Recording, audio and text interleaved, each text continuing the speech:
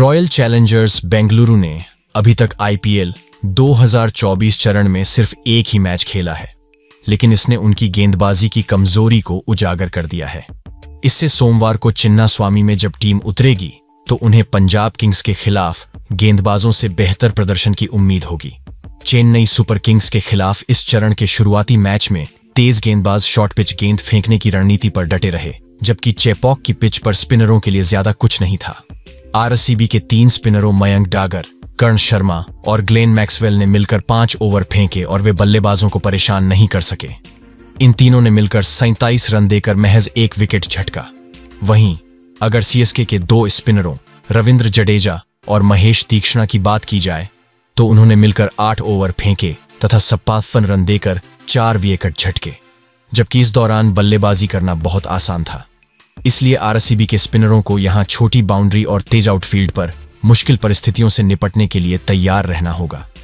इस स्टेडियम में ज़्यादातर मौकों पर टीम ने एक पारी में 200 से अधिक रन जुटाए हैं और ऐसा 27 दफ़ा हो चुका है, तथा इस पिच पर आईपीएल में पहली पारी का औसत स्कोर 172 रहा है। इससे पंजाब किंग्स के खिलाफ आरसीबी के तेज गेंदबाजों को भी ज़िम्मेदारी से खेलना होगा।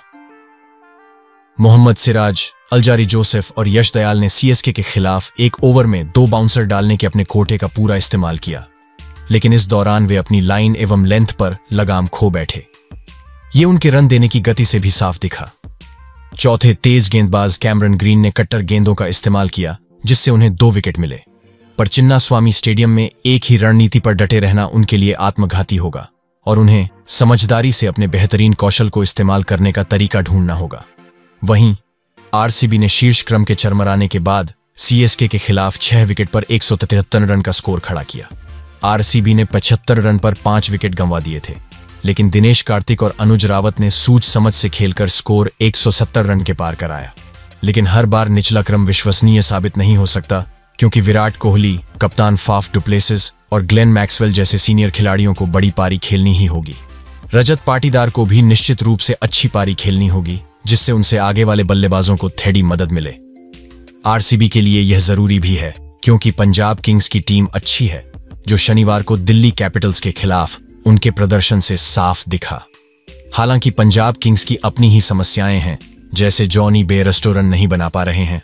दोनों टीमों की संभावित प्लेइंग इलेवन